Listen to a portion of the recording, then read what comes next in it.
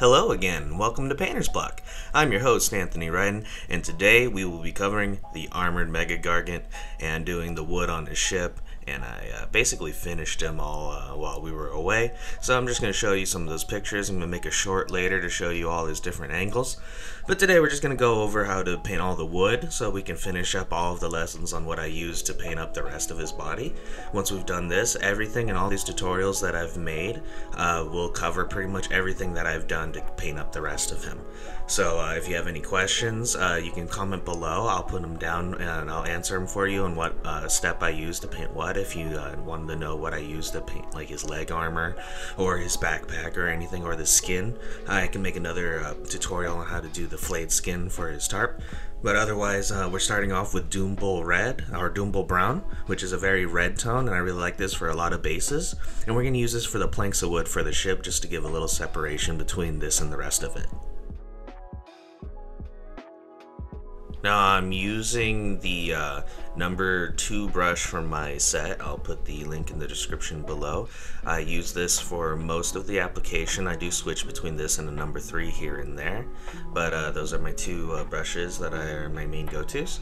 And here you're just making sure to get onto all the nooks and crannies and uh, try to keep your brush strokes kind of going the same direction as much as possible just to match the direction of the wood so that when the paint dries, if you have any streaks that kind of go along with the wood, giving more to the realism of the effect. Now this is a like, just like a cool uh, piece that already comes with the Mega Gargant kit. So I'll put a description below if you want to get a kit for yourself for uh, some kit bashing or just to make a Gargant for yourself to make an army.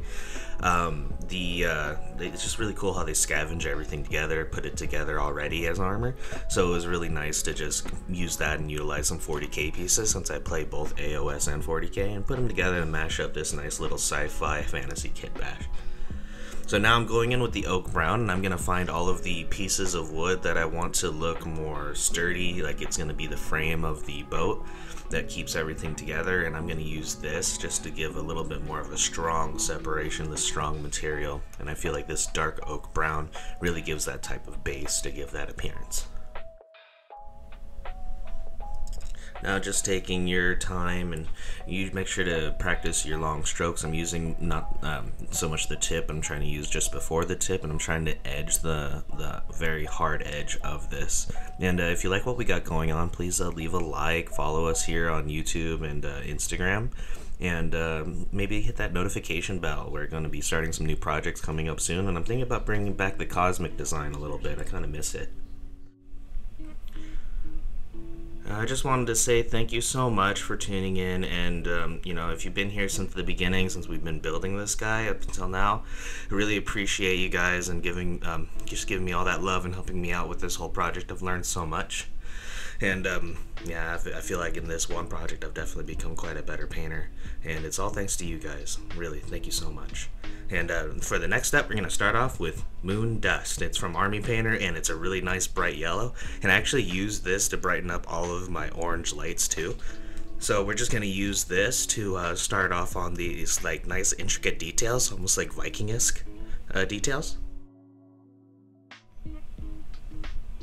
Now just going in and uh, still using that number uh, 2 brush, I'm just applying this all over the details, uh, trying to avoid as much of the uh, filling in the cracks. I don't want to fill them up with too much paint and then lose that detail, uh, because then we're going to go in with the uh, wildwood tone or wildwood contrast later, really watered down, and just give a, a little bit of a brown shade to everything, and also in, increase the depth to all like the cracks and crevices so they can lay inside there. So here you're just uh, putting this all over this area. It's really, really pretty simple. I'm just uh, making sure to evenly apply this as much as possible, trying to not, uh, trying to avoid getting this on any of the other wood areas because I want this to be particularly brighter, like this is made of a wholly different material. So now we're gonna go into the desert yellow. It's this nice, like very brownish, uh, brownish, like darkish yellow. Um, I've used this a lot. It's very runny though, so um, if you're trying to use this as a base layer, I wouldn't recommend it. but as like a top coat to give a little bit more um, depth to this wood that we're creating. Uh, this is a really nice one. And what we're going to do is we're going to grab this and we're just going to um, paint this the lengthwise on all of these wood planks to add more to the depth and the realism.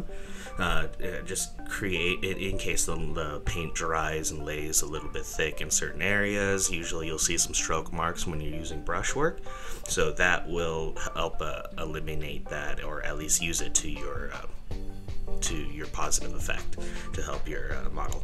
So now we're gonna get the skeleton bone, also from Army Painter, and this is just a nice off-white, and we're gonna use this to accent all of our um, these uh, nice bright areas, but we're actually going to use this to accent pretty much all of the edges because it's just such a nice monotone off-white that we can put the wildwood over.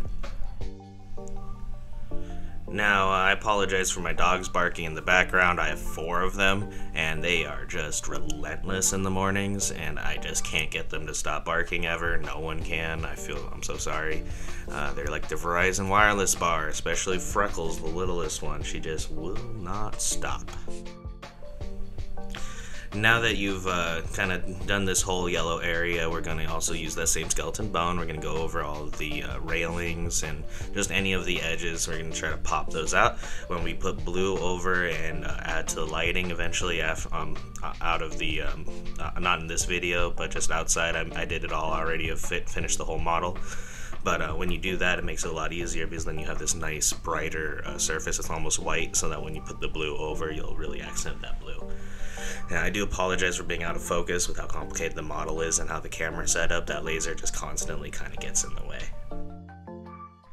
Now, uh, I do want to remind you guys that if you're going to the Las Vegas Open next uh, next year in January 26th through 29th, I will also be there on the uh, 26th. I'll be doing the Night Joust event. Um, and then on the Sunday, the 29th, I will be doing the AOS doubles with my uh, one of the my followers here. He's also one of my best friends, and uh, I uh, hope you'll come visit us there. Uh, anyways, this next step that we're going to be doing is uh, grabbing our army green and kind of adding a little bit of a moss effect to um, to like our algae growing on the bottom of this ship that he's picked up. So we're just going to kind of apply this uh, here and there along these planks of wood and just sporadically around as if moss or algae were growing on this um, on this boat, and I kind of go around and put on the rails, put on more than just the one piece of wood because it would be kind of like everywhere, except for I just try not to put on anything metal um, unless you kind of want it to look like that. Um, but uh, then I also even put on the ropes because even ropes will like, kind of get that algae growth too. So um, and then I, you know I put on this little statue. Don't want to avoid him. He looks pretty cool. I'm definitely gonna put a little bit of fuzzies on him, kind of make it look like he's a little bit more overgrown. But uh, otherwise, yeah, you're just kind of going around. Just we're still adding more of this underlying depth to what our our uh, wildwood contrast is going to kind of put piece all together. Now, uh, just going through, make sure that you grab all the nice, like, brighter yellow pieces. Don't leave that out, even though it's nice and clean. Because if you put it on just one, like, one spot and then another spot, but it doesn't, like, um, on the beginning of the boat where the dark uh, reddish wood is, and then you put on the railings, but you skip this whole middle part, it's just not going to look quite right.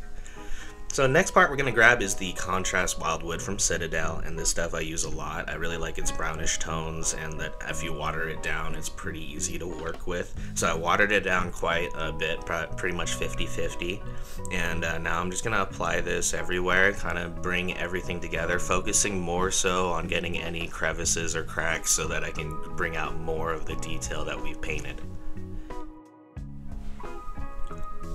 Now, uh, just make sure to, like I said before, you're trying to use the same kind of stroke, uh, stroke um, uh, direction as the wood planks would be going. So you're just adding as much realism by trying to go in the same direction as nature would have this wood going and all the grain.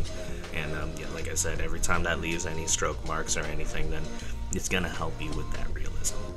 Now you're just gonna put this over, and even on the darker yellow, because it's it's still kind of blown out. You don't want it to look like that. Plus, we did cover in some of those cracks, so we need to make sure to bring out those cracks so that those details can come back alive. And you know, it's just nice to give this little wood brown tinge to everything, just to really let your eye know as you're walking by and you're looking at it. When you see that type of look, you instantly kind of put your mind to, oh, that's wood. I don't know what type of wood, but it's some form of wood. And then when you look deeper at it, then you can kind of figure it out. Now, I just wanted to say thank you so much for tuning in and spending your time with us. And uh, we're going to be moving on some to some other projects. I'm going to be finishing the base on my uh, Cosmic uh, and uh, doing some other just little um, my army and whatnot for the AOS doubles. But thank you so much for coming in, and I hope you had a great holiday. And uh, once again, uh, I hope we helped you break your painter's block.